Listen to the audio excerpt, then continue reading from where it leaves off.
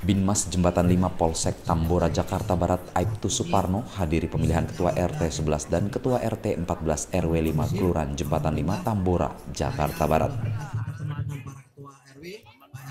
Adapun yang hadir dalam pemilihan adalah Lurah Jembatan 5, Babinsa Serka Yusuf, Ketua LMK, Ketua FKDM, tokoh agama serta Ketua RW 5. Sebelum pemilihan ketua RT dilaksanakan, Aibtu Suparno selaku Babin Kamtipmas memberikan himbauan Kamtipmas terhadap para undangan yang hadir. Dari Jakarta, Aibtu Suparno Tribrata TV, salam Tribrata. Pemilu ini aman. Namun ada beberapa